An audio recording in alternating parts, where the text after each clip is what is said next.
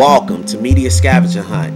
It's your guy Walter, and tonight we're here to review a new NBC series titled Constantine. It's from the DC Comics, and a lot of things that have been happening in the world of Constantine. This is episode three, titled The Devil's Vinyl.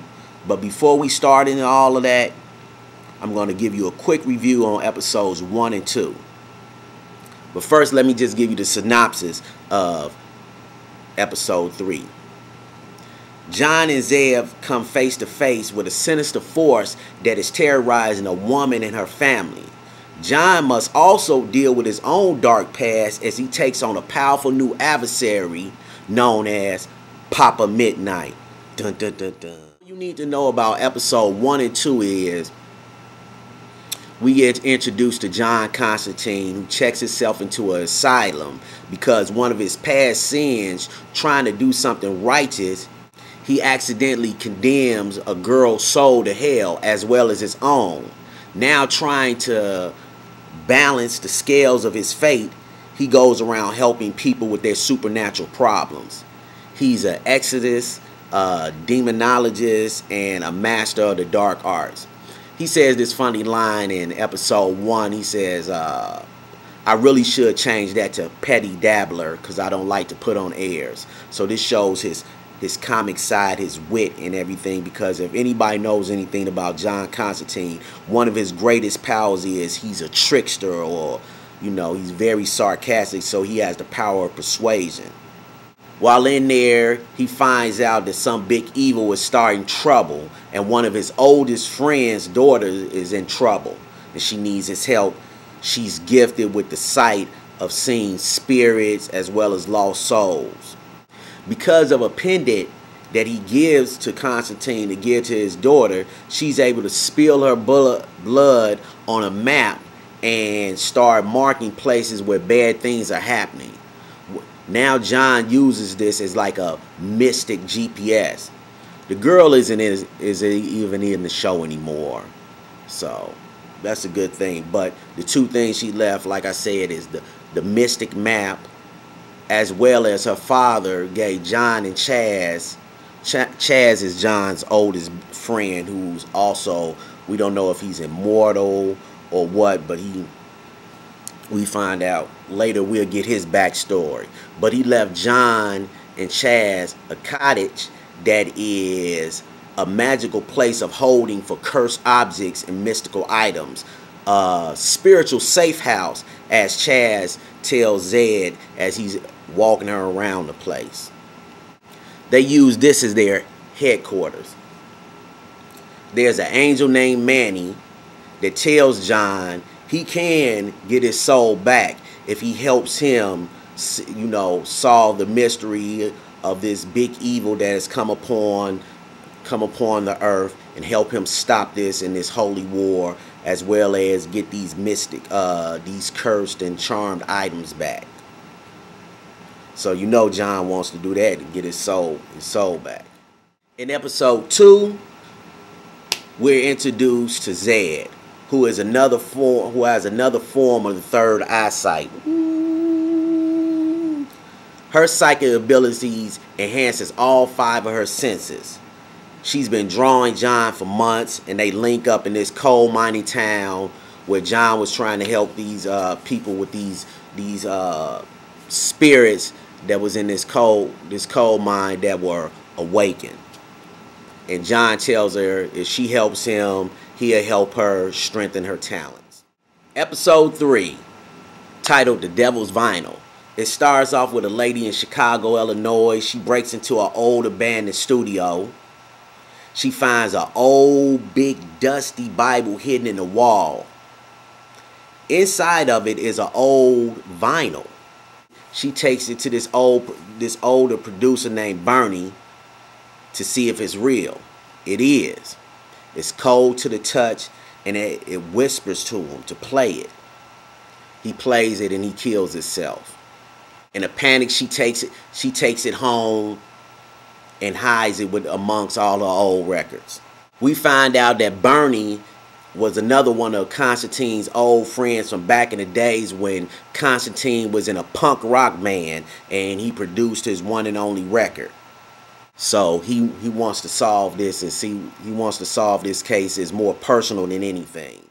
John Constantine is a upstanding warlock that has a big leather bag full of tricks. He still had to he still has to practice spells. But he has a few items inside this bag that helps him out. One is the nails from the coffin of Saint Puda, patron of lost souls. The nails can be used as a tracking device because they follow each other. Two, the hand of glory. It's the cut, it's the cut off left hand of a man that was hung, pickled in amniotic fluid for seven years with the right incarnation and the dead can rise as long as the candles are burning, which is the fingers. He uses this to wake up Bernie for wake up Bernie for a little while and ask him what happened. Bernie whispers things to him, and one of the things he whispers is Moonrise. Moonrise Records. He also has a charm playing card that takes on the appearance of whatever the holder requires it to be. A badge, a credit card, whatever. He says that it's a, a real dark backstory to this, but he never he doesn't go into detail on it. Maybe later on we'll find out what the backstory is to this charm playing card. Zed reminds John that he told her that every spell has a price. What did he mean by it? He says, Some days off my mortality. It's like a reverse mortgage. And he says he'll do anything or whatever it takes to help people as well as himself. She looks at him strange, like, wow, that's deep right there. Have you ever heard the urban legend of Willie Cole? This is a Memphis blues man that supposedly sold his soul to the devil. Well, the night that Willie was recording, the fallen one came to collect his soul. And you can hear whispers of his voice on it, on the vinyl. And this is what everybody's after right here. And so this is a very valuable and wicked item. The lady was supposed to give this to a soul broker and her contract or her debt would be paid, who was working for Papa Midnight, a very powerful voodoo priest who John and him have history.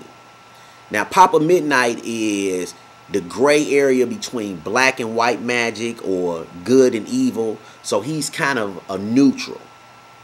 And he does things to his own accords, but he balances, he's on a fine line that he could, you know, fall either way. Papa Midnight sends his goons to get the vinyl and of course they're not supposed to touch it but one touches it and it touches the other one they get possessed and they start wreak, wreaking havoc. What's the reason that papa midnight wants this valuable wicked item? He says it's his get out of hell free card. But we come to realize later on that papa midnight has a lot of mystic items at his disposal as well as john constantine so Constantine can't let Papa Midnight have this. So in the last minute effort, he sends it back to hell, sacrificing two of Papa Midnight's goons who was trapped inside the college radio station room. This was a great episode. It gave us a little backstory on Constantine as well as introduce this new character, Papa Midnight, as well as, you know what this show really reminds me of? It reminds me of two shows, actually. A mashup, as a matter of fact.